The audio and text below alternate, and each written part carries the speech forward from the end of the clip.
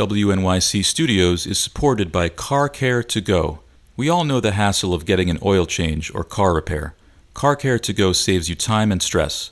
They pick up your car, repair it, and bring it back to you all with the click of a button. Schedule now at carcaretogo.com and use code WELCOME25 for $25 off any service. That's carcaretogo.com and use code WELCOME25 for $25 off any service. WNYC Studios is supported by Forward. Waiting months for a 10 minute doctor's appointment? Healthcare is backwards. Luckily, Forward is here to clear things up with on demand access to great care backed by the latest tech and top rated doctors. Learn more at goforward.com. That's goforward.com. Listener supported. WNYC Studios.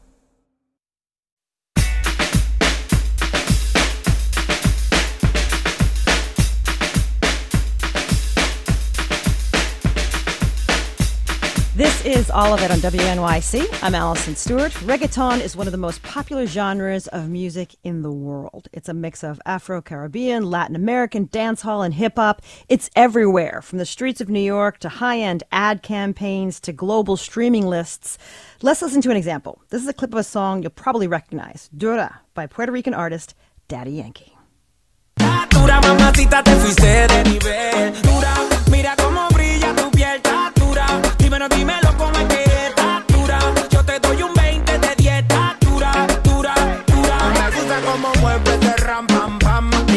maquineando en un plan, plan, plan. Si me esa curva, le doy pam, pam. ¿Cuál es tu receta? No sé, está pa' comerte bien. Me gusta cómo mueves de ram, pam, pam. Mi mente maquineando en un plan, pam, pam. Si me dejen esa curva, le doy pam, pam. Belleza retumba, la otra pa' la tumba. Uno, dos y tres. But as with every great creative endeavor, there is an origin story. The history of this musical movement until recently wasn't commonly understood.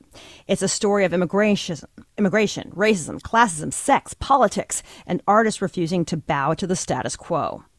Loud, the history of reggaeton is a new podcast from Spotify Studios and Futuro Studios that corrects the record and makes sure we all know the true story of reggaeton. The show is hosted by Ivy Queen, often known as the Queen of Reggaeton and one of the original MCs of the movement. Let's listen to a clip from the podcast when Ivy got her break when auditioning for iconic Puerto Rican producer DJ Negro. This is from episode one of Loud. And he's like, Show me what you got. Me pongo los headphones. I'm nervous as hell. Pero oh, I'm not trying to show it, you know? So I do something kind of crazy. I turn my microphone around, turn my back towards Negro, and face the wall. I just let it loose. Muchos quieren tumbarme y le digo, mira, no, no, que no van a poder. Si cuando canto la gente sabe que llegó la la nena del reggae. Cuando terminé, I turned around. I'm not sure how I did. DJ Negro look at me straight in the eye, con una cara bien serio, and say, Felicitaciones. Congratulations. You're in. You could say that was the day that Evie Queen was born. Finalmente, I was at that place that I knew I belonged all along. Fue el comienzo de mi carrera that made me la diva, la potra, la caballota, la reina, and made me a household name. Ivy Queen. Ivy Queen. I got a hell of a banger with Ivy Queen on that record. That is from Loud, the history of reggaeton. Joining me now to discuss this new podcast is Julio Pabon. Julio is one of the executive producers. Hi, Julio. Hi, thank you for having me. I'm so excited to talk to you. This is a great podcast. By the way, the first four episodes are out now on Spotify for folks who are thinking they are going to download this right away. When did the idea come to you and, your team to really take a historic, almost like a biographical approach to reggaeton, to this genre? Yeah, you know, this is three years in the making. Uh, and initially, I wanted to make the podcast for me and people like me who grew up on reggaeton, but didn't really know the definitive history. Uh, there are a lot of um, uh, sort of parallels to hip hop in that there were rumors and half truths and myths about origins, about rivalries between MCs and where, uh, what country did the sound originate from. Uh, and so I knew that someone had to try and set the record straight and tell the story as close to a definitive history as possible. And hopefully, we accomplished a little bit of that. Now, aside from the music, which is very important to dig into the music and all of those uh, things you just mentioned, what are some of the important reasons to talk about reggaeton within the idea of history and geopolitics? Yeah, you know, there are just so many themes, like you had mentioned at the top uh, uh, of this introduction about race, class, immigration, censorship, and policing. Uh, you know, that we just, the, the more research we did regarding the podcast uh, and the deeper the hole we went to, the more you realize that these themes and these stories uh, resonate today with what's going on in the world. And so that, coupled with the fact that reggaeton, at this point in the cultural atmosphere and the cultural ethos, is pop culture uh, we are now defining uh, what is hot and what is not, uh, both in music but also outside of music, whether it's fashion or whether it's uh, you know films. Uh, you know the, the reggaeton artists are now sort of like the guiding light, and so it, it couldn't have been a better time. We get a really interesting history lesson in this podcast. So let's talk about the first episode. It takes us all the way back to early 1900s Panama. Why did the reggaeton movement begin in Panama? Yeah, so you know, I think you know, particularly if you're Latinx or if you're identify as Latinx or Hispanic, you know that there are Black Panamanians. What I think a lot of people don't know is that there are Black Panamanians, and then there's an entire sort of immigration community that came in during the building of the Panama Canal that needed to come in and they needed to be English speaking labor to help build the canal for the Americans that were building the canal in the early 1900s, as you alluded to. And so there's actually two defining communities of black culture in Panama at the time, and one is was English dominant, and one wasn't. And essentially, the you know, as the podcast will tell you, uh, when the Americans leave, uh, it's one of the factors that which now these two communities had to join and blend, and when they do that, so did their sound. And so you had Jamaican and Caribbean immigrants with their dance hall and roots reggae influences, uh, and their English dominant, coupled with Black Panamanians with their salsa and their Spanish language influences, and you meld the two together, and that's where the uh, that's where the genre began.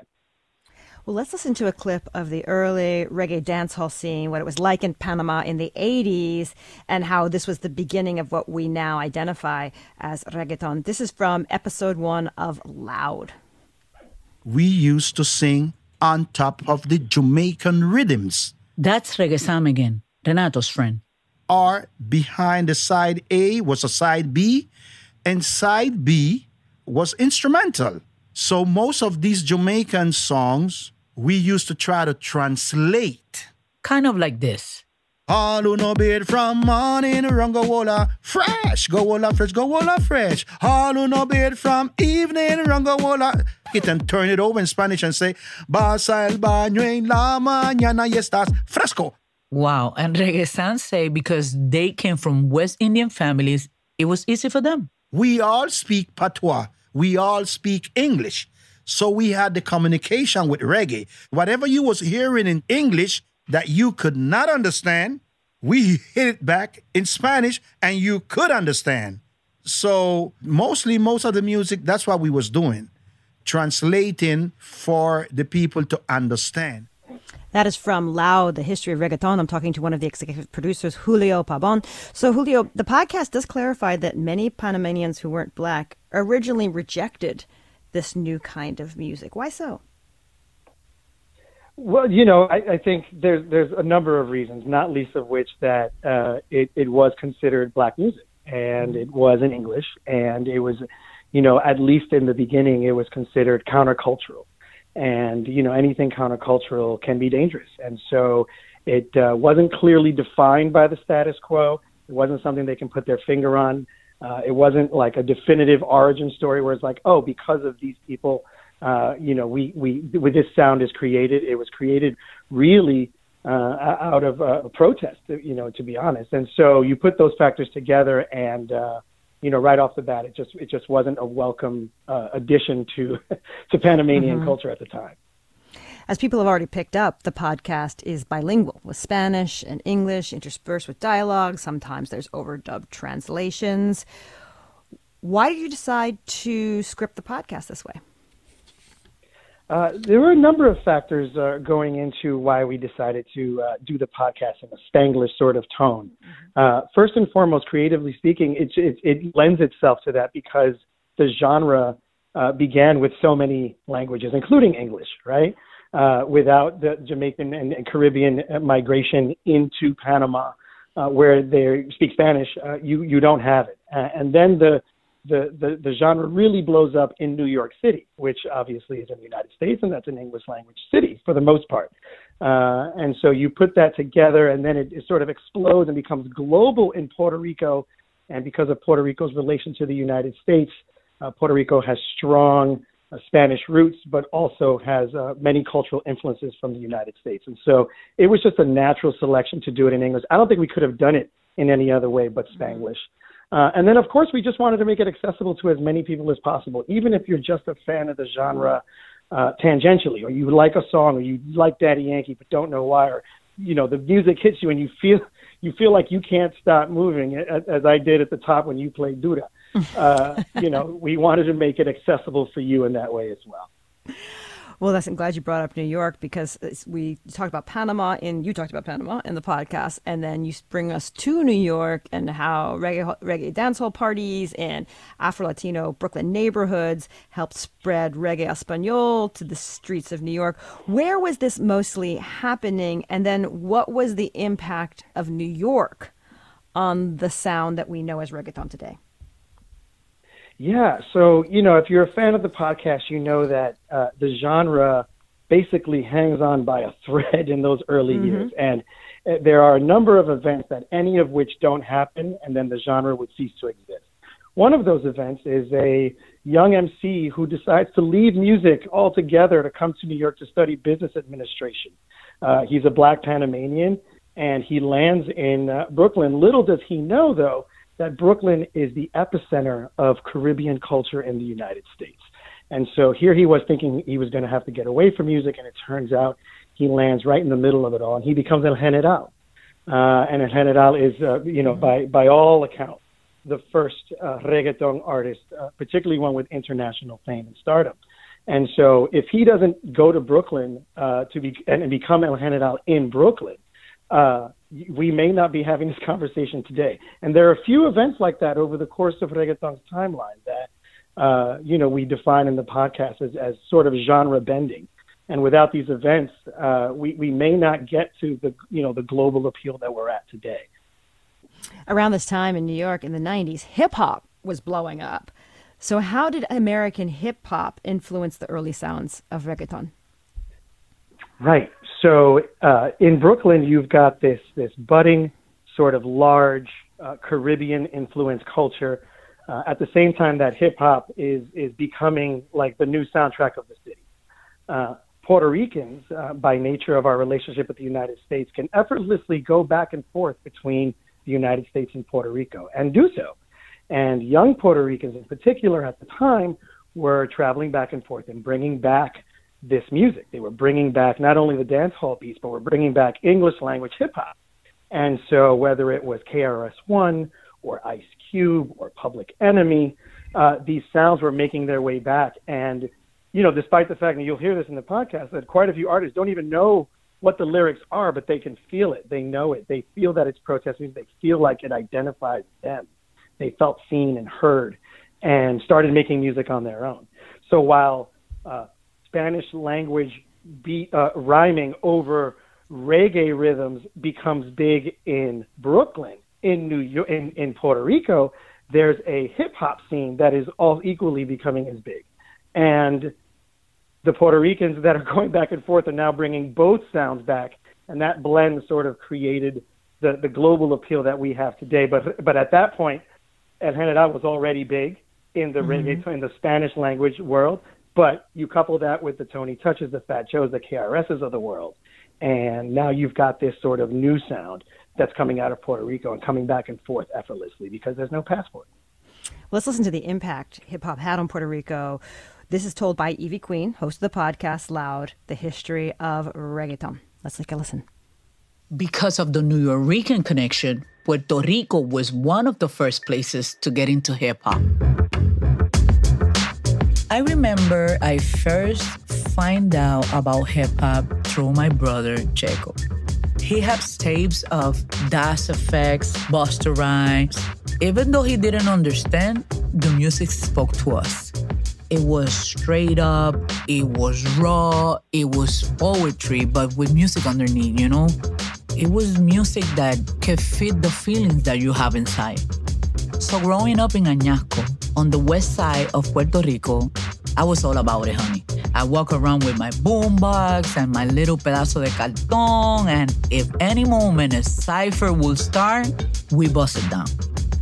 Back then, if you have a party and you didn't play rap, honey, nobody's gonna show up. That was Ivy Queen from the podcast Loud, the history of reggaeton. I'm talking to one of its executive producers, Julio Pabon. So, Julio, for people who don't know Ivy Queen and are hearing that voice and thinking, I need to know everything about this person, tell us a, a little bit about her history and why she's the right person to host this podcast.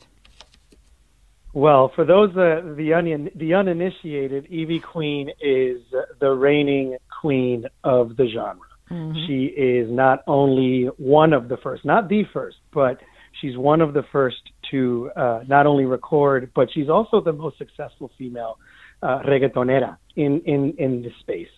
And she's been doing it for a long time, since since the, the sound got to Puerto Rico, essentially, as you'll hear in the podcast. So uh, it was important for us on a number of fronts, but not least of which that she provided a level of validity to the stories that you hear because so many of them she helped shape. She helped shape the culture of reggaeton into what it is today. So uh, I'm not going to tell Ivy whether a story was true or not. She's going to tell us and and keep us in check.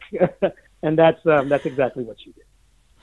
So we were talking a little bit about the top about this eh, this like any sort of new creative endeavor sometimes is threatening to the status quo. How did the Puerto Rican government and police respond to this oh, this underground movement and these parties, the El Underground, as it was initially kind of thought of? Yeah, I mean, as you'll hear, uh, pretty violently at 1st mm-hmm. uh, you know, it was not accepted on the island, and uh, there was a government policy of censorship. And uh, in Spanish, it's called la mano negra, but it was la mano dura, excuse me. But it mm-hmm. was uh, the iron fist, and that iron fist meant that if you uh, you know, it was easy to profile and almost legitimized in the sense that if you were young and you were a, either a hip hop or reggaeton artist and you drove a car that looked a little bit out of your means from the way you dressed, you were mm-hmm. profiled. And if you had CDs in your trunk or you had a number of records in your, you know, back seat, uh, they were going to break them. They were going to take them. They weren't going to let you sell them, and they were going to mess with your livelihood. And so uh, you know that that was the initial response. It was not received well by the status quo on, on the island. The podcast spends time talking about the Noise, a club in San Juan, which Ivy calls the Studio 54 of the early reggaeton movement in Puerto Rico. Why was this club so important on the development in the development of the genre? Yeah, I think Studio 54 and CBGB are both really good examples because uh, you know, it, in in many ways, Puerto, the reggaeton is sort of like the punk of of the musical movements coming out of Puerto Rico. It was countercultural. People really couldn't define uh, what it was. It was raw. It was dirty. The lyrics were raunchy, uh, and at times uh, very anti-police. And so uh, this club was uh, because you couldn't play it on the radio was the only place that had the music that you wanted to hear if you were young at the time. And so uh, the club got big because it provided a safe space for for the youth at the time. Now, what happened after that was that they got real savvy, and so they realized hmm. that there was a, a, quite a bit of talent on the island. Uh, and you know, by, by sheer nature of the fact that they were trying to book Panamanian artists who were already big at the time, but didn't have the money to do so. So they said, "Hey, how about we just hold a talent show showcase here on the island?" And I'll play these beats. And if you're good, you get on stage and you won't get booed off. And if you're not good, you're going to get booed off. And as you heard in that clip that you put, uh, Ivy Queen was, was one of the products out of the noise. And so the noise is, is at this point, uh, it's like grown to mythic proportions, but it really was, you know, the birthplace of a lot of MCs that came out of the island at the time. As early reggaeton established itself, you tell the story of how the beat we now associate with it is created, a beat called dembow. And I want to play a clip from episode four of Loud, which is a surprising story behind the beat because it involves Long Island. So let's take a listen. One day in 1990, Sleepy Wonder shows up to the studio where musicians were busy cooking up the remix of the dembow rhythm. I walked in where they were adding the percussions. The bass was just following the drum. So it was a boom, ah, boom. It was a steady bass hitting every so often. It was just like the original, but more digital. A little harder hitting, and they added their own sauce, like timbales, which gave a little bit of a Latin flair. The mayonnaise to the sandwich, so to speak. And the results, wow, man, that thing took New York by storm. And all them Spanish speaking islands and country, they adapted it. And it was beautiful. That instrumental is the one that end up getting sampled over and over again and becoming the dembow beat we all know and love. DJs in Puerto Rico started literally flying to New York, going to the Jamaican record store and buying up every copy of Sleepy Wonder's record that they could find. That was from the podcast Loud, The History of Reggaeton. As I said, the first four, four episodes are out now. When can we expect the rest? They come out weekly, and so uh, they come out every week on Spotify. Uh, and you can, uh, there's four, there's six more to go. And so there's 10 episodes in total. So we're hoping that uh, it's sort of like our, our version of like a telenovela where it keeps you going and we try to leave you on a cliffhanger from one week to the next. The name of the podcast is Loud, the History of Reggaeton. It is out now on Spotify, the first four episodes. I've been speaking with its executive producer, Julio Pabon. Julio, thank you so much. I am really enjoying the series. Thank you so much. It's really an honor to be here to talk about it. WNYC Studios is supported by Car Care to Go. We all know the hassle of getting an oil change or car repair. You waste hours coordinating rides and shuttles or sitting in a stuffy waiting room. There's a better way with Car Care to Go contactless valet service and repair from highly trained and trustworthy mechanics. Car Care to Go saves you time and stress. Car Care to Go picks up your car, repairs it, and brings it back to you all with a click of a button. Schedule now at carcaretogo.com and use code WELCOME25 for $25 off any service. That's carcaretogo.com and use code WELCOME25 for $25 off any service.